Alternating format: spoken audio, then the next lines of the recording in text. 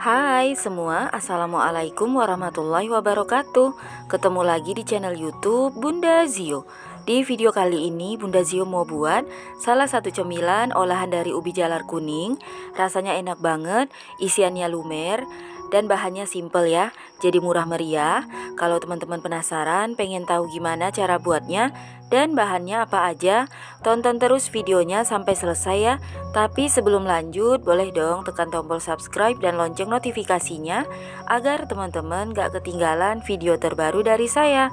Kalau udah terima kasih banyak. Tanpa berlama-lama yuk langsung aja kita ke cara membuatnya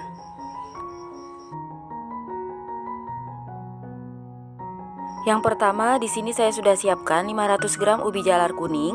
Ini berat bersih setelah dikupas dan dicuci ya. Kemudian potong kecil-kecil.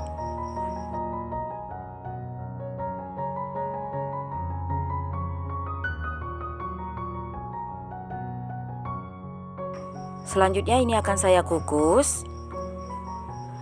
Sebelumnya saya sudah panaskan panci kukusan lalu masukkan ubi jalar yang telah dipotong. Ini akan saya kukus sekitar 15 menit ya atau sampai ubi jalarnya ini empuk. Setelah 15 menit buka tutup kukusan. Nah, ini ubi jalarnya udah empuk, bisa dites tusuk ya menggunakan garpu. Jadi kalau udah mudah ditusuk seperti ini tandanya udah empuk. Kemudian angkat dan keluarkan ubi dari kukusan.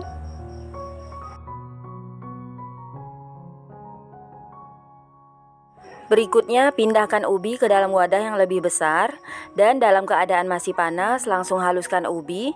Di sini saya haluskan menggunakan gelas ya, jadi ditekan-tekan atau dibejek-bejek sampai ubinya halus. Kalau udah halus semua seperti ini, dibiarkan sebentar sampai agak hangat. Jadi ini disisihkan dulu. Sambil menunggu saya akan membuat isiannya. Di sini saya gunakan 100 gram gula pasir, 100 gram margarin, Kemudian pindahkan ke dalam mangkuk yang lebih besar, dimasukkan. Kemudian ini diaduk ya hingga tercampur rata. Kalau udah tercampur rata, ini siap untuk digunakan. Nah, kalau ubinya udah dingin, masukkan 125 gram tepung terigu protein sedang, seperempat sendok teh garam, kemudian aduk hingga tercampur rata. Di sini saya aduk menggunakan spatula. Kalau mau langsung diaduk menggunakan tangan juga boleh ya. Ini udah agak tercampur rata, akan saya lanjut uleni menggunakan tangan supaya lebih mudah. Uleni hingga tercampur rata sampai adonannya ini udah bisa dibentuk.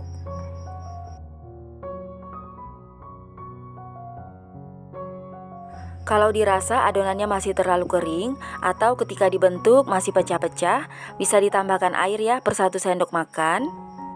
Ini adonannya udah pas, udah siap dibentuk dan diberi isian.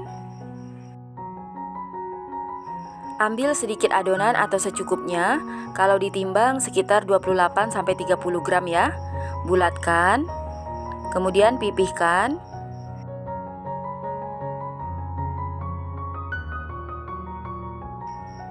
Beri isian secukupnya. Tutup kembali adonannya hingga tertutup rapat supaya ketika digoreng nanti isiannya nggak bocor ya, jadi nggak keluar. Bulatkan lagi.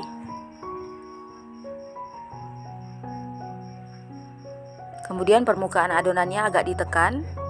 Nah, seperti ini, jadi pipih ya. Lakukan hal yang sama hingga adonan habis.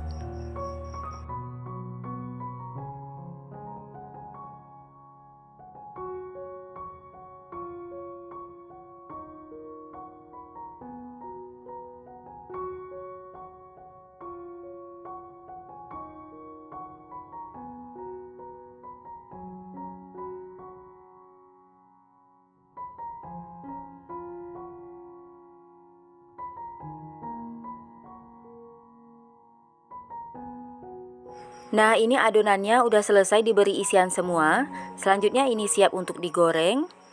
Sebelumnya saya sudah panaskan minyak Lalu masukkan adonan secukupnya ke dalam minyak. Ini digoreng ya sampai warnanya kuning kecoklatan. Sambil dibalik agar matangnya merata. Kalau kedua sisinya udah kuning kecoklatan, tandanya udah mateng ya. Lalu angkat dan tiriskan agar minyaknya turun. Kemudian lanjut goreng sisa adonan hingga selesai.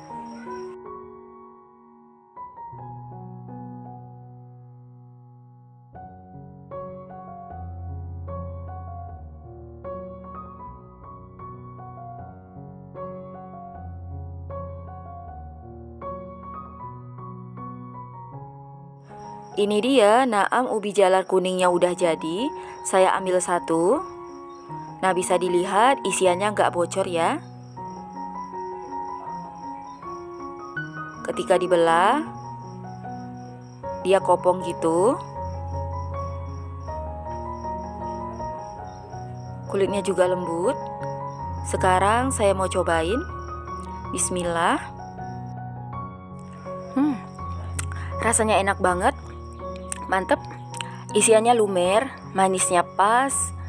Ada gurihnya juga dari margarin ya. Kulitnya ini crispy dalamnya lembut enak banget. Cocok buat cemilan di rumah bisa juga jadi ide jualan ya. Ini bisa jadi teman ngopi atau ngete bersama keluarga. Cara buatnya juga mudah bahannya simple ya. Murah meriah tapi rasanya enak. Nah ini saya ambil satu lagi